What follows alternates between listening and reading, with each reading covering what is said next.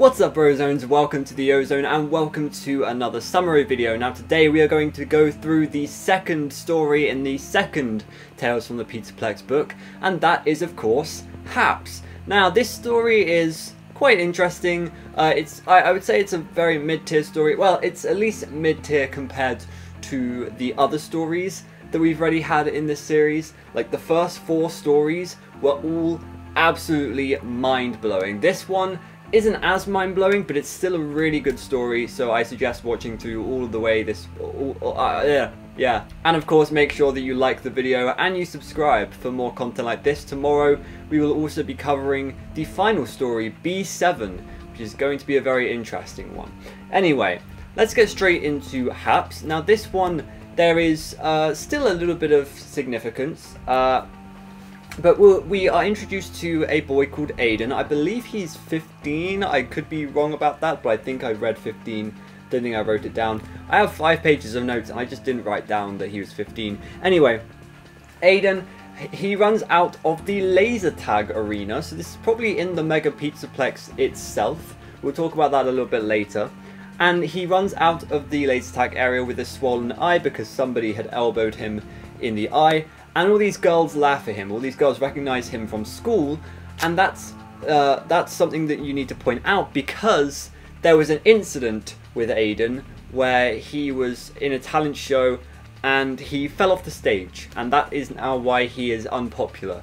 Um, but he's not unpopular to his one friend Jace, who is also at the Pizza Pizzaplex with him, and he tells him to just ignore the girls but uh, Aiden just hates being treated like crap by everybody. He wants to have some control over his life and some control over other people's life.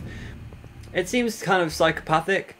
Uh, uh, the other thing that is psychopathic is the fact that Jace has got a Swiss Army knife that he got from his birthday. It seems like there's no security in in the Mega Pizzaplex. He, he has a Swiss Army knife in the Pizzaplex. So, no security. Good job, Fazbear Entertainment again. Um, now, Jace suggests that they go to Freddy's Fortress, which is a giant tube maze. And uh, in that tube maze, there is a robot called HAPPS. And HAPPS stands for Helpful Automated Pipes Protection Server, which is a good name. And it's a robot that basically checks that everything in the maze is in complete order. When children get stuck in the maze, he helps them out blah blah blah. Uh, he's basically just a helpful robot that goes around the maze. Uh, and, oh yeah, there's one thing to note about this Pizzaplex. It is pizza shaped.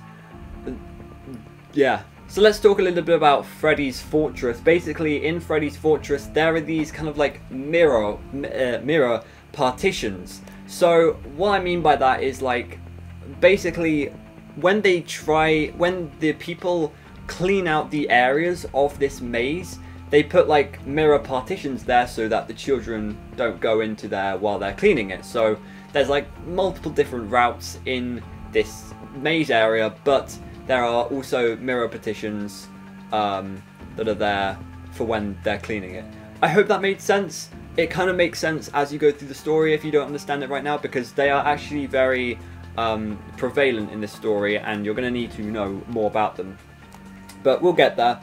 Uh, basically, uh, Happs was a robot that was made to help children that were stuck and also to cut down on employees. Now, I don't know about this, but it could be the beginning of the staff massacre thing that happened uh, in Security Breach where they replaced all of the workers with staff bots. That's why we, we only see Vanessa as the only human in the Pizzaplex in Security Breach.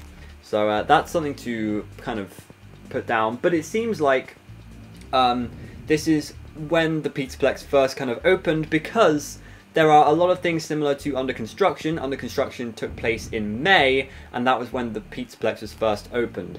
Anyway, that's completely off topic. Again, we'll talk about that later. So, these pipes are made from a certain polymer that makes them soundproof. I wonder if that will come into play later on in the story.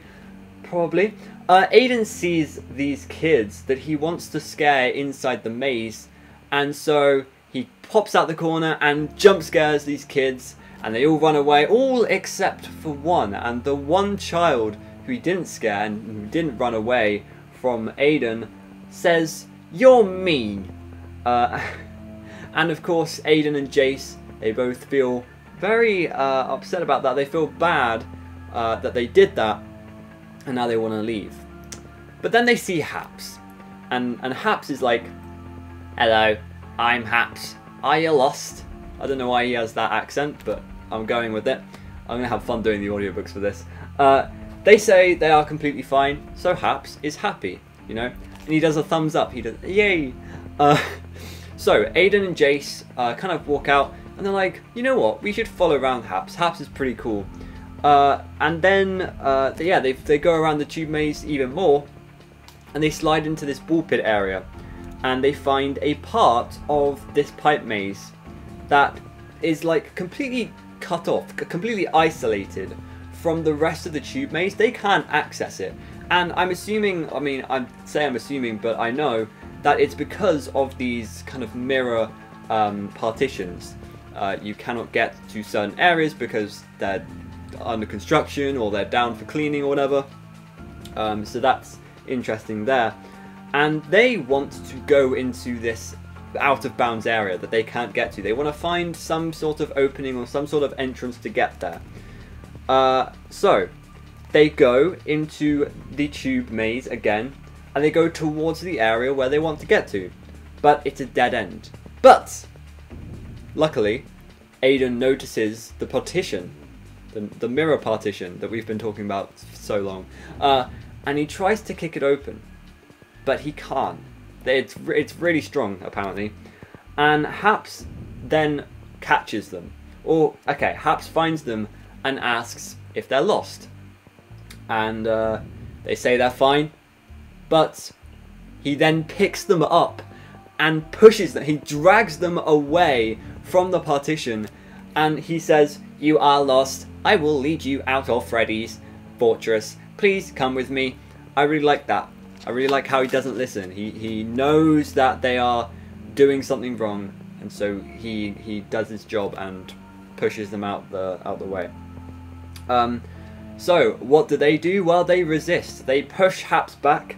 They push him away. They kick him.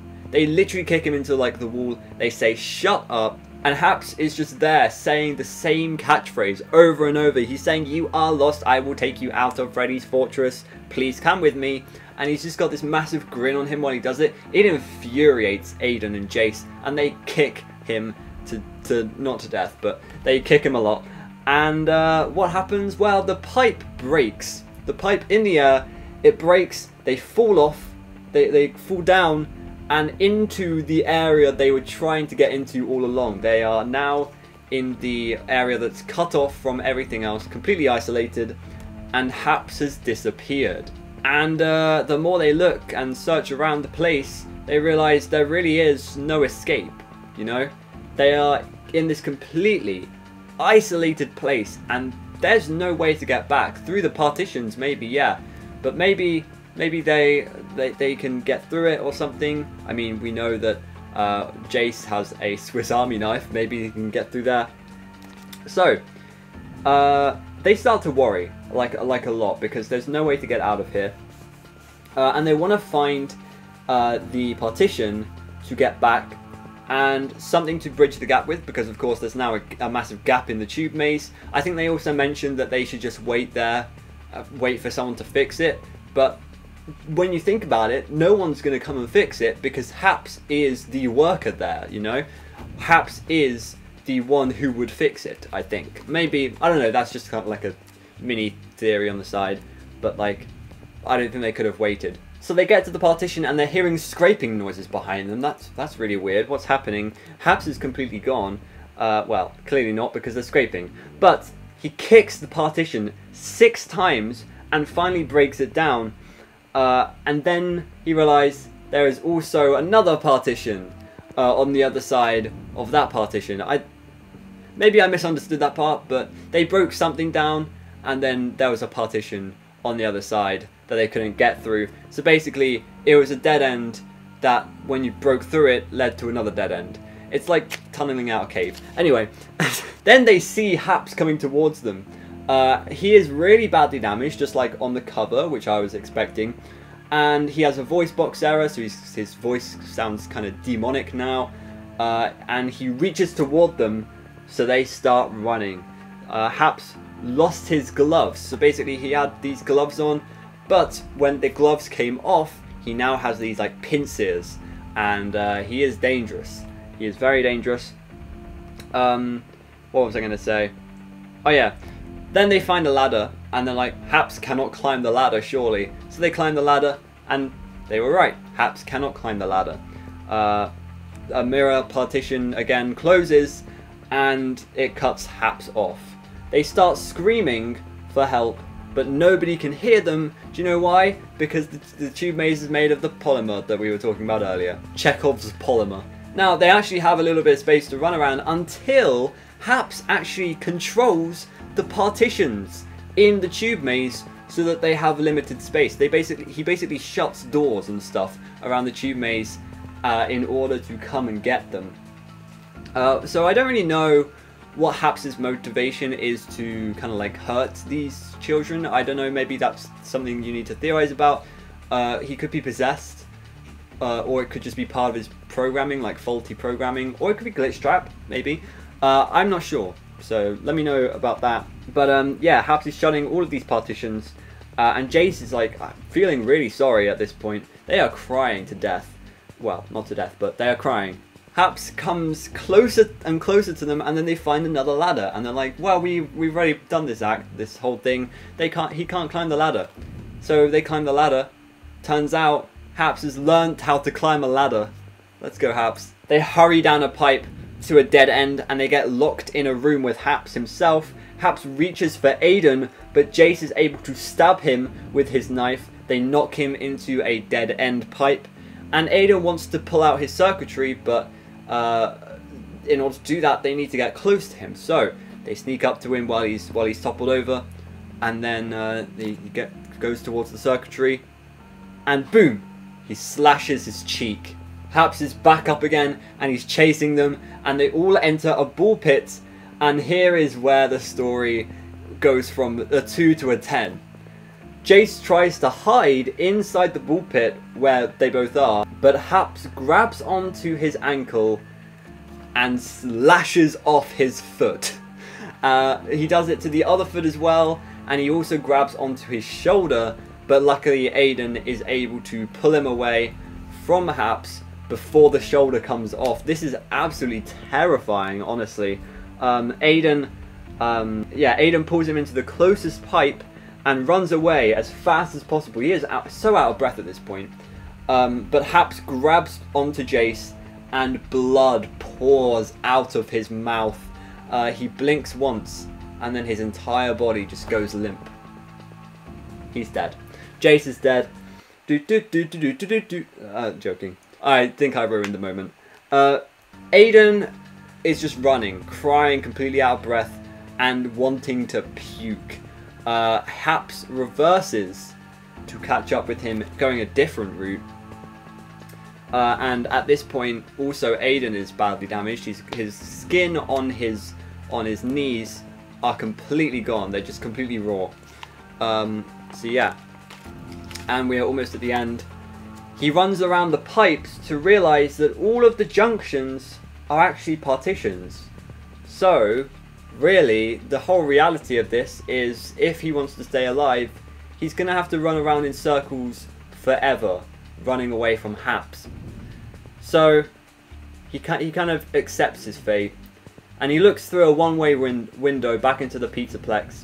And he sees all these kids having fun and he realised that he's finally gotten his wish that he's always wanted to just be completely invisible to, from everyone and for everyone to leave him alone. And there you go. There is Happs. Um, as I say, like, like even just kind of reading the summary, I was kind of like a little bit bored. There's a lot of back and forth, back and forth, going to the same places over and over again. I mean, of course, they are trapped in one area. There's not much they can really do. But it's a really cool concept. Uh, it was executed pretty well. Uh, I just think there was a lot more potential for the story. Um, I do think it's a really good story, though. I, I just think it's a little bit mid, okay? It's not excellent. uh, like Help Wanted was, because Help Wanted is actually my favourite story. So I'm not going to spend too much time going over theories. Um, well, I'm not going to go over theories at all. I'm going to do that in a separate video probably. But one thing I do want to point out is that this story happens probably at the same time as Under Construction. If this is truly in the Mega Pizzaplex, which I think it is, they mentioned a VR booth. They mentioned the Fast Freddy roller coaster that was mentioned in Under Construction. They mentioned the roleplay area, which was mentioned also in Under Construction, and is upcoming in a story in Somnophobia. And uh, in Under Construction, they actually did mention a hiding tube maze. Um, oh, it's not hiding tube maze. Was it hiding tube maze? Uh, no, just the tube maze. Uh, in under construction that kind of loops around. Wait, I've got the quote here. It's sliding plastic pipes that entwined with Fast Freddy. So there you go. Uh, this story takes place probably at the same time, sort of, as under construction. Basically, when the Pizzaplex was first opened up, because a lot of these rides aren't in security breach, so we know that they they were only there when they first opened up, and then they rebranded and whatever. They took out rides, they put more rides in, blah blah blah blah blah. We do have Fazer Blast, so we know that it kind of has to be the Mega Pizzaplex. Uh, but yeah, what do you think of this story? Do you have any theories for it? Uh, yeah. I don't really know what else to say except thank you so much for watching. Make sure you uh, you like the video and you subscribe, and I will see you in another video. Goodbye.